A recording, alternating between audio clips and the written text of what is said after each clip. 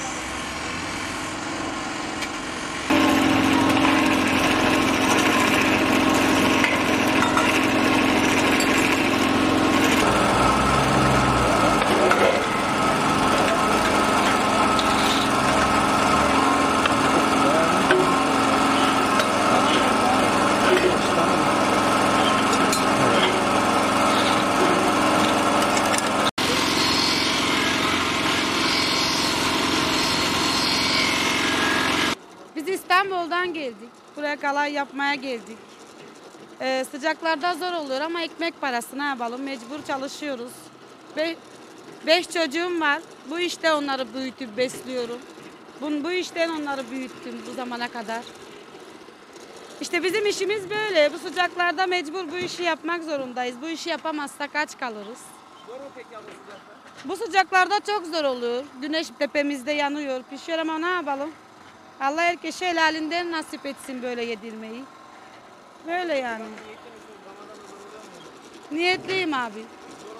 Çok zor oluyor ama Allah sabır veriyor bize. Kurban olduğum Allah. Samsunluyum.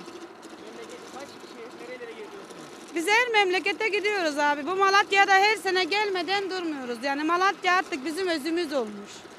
Her sene buraya gelirim Elazığ, e, Tokat, Erbaa, her yere, Diyarbakır'a, her ilçeye, her belediyelik alanlara gidiyorum. Böyle kuruyoruz.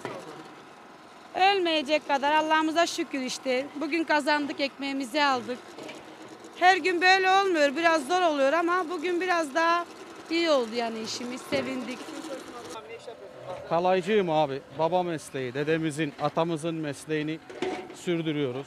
Abi sıcakta zor mu? Zor olmuyor mu? E zor da olsa yapacak bir şey yok abi. Alıştık biz. Bizim ekmeğimiz bu. Niyetliyiz abi. E zor da olsa mecbur abi. Allah'ın izniyle. Yoğunluk şu anda talep var abi Bakır'a, Malatya'da talep var.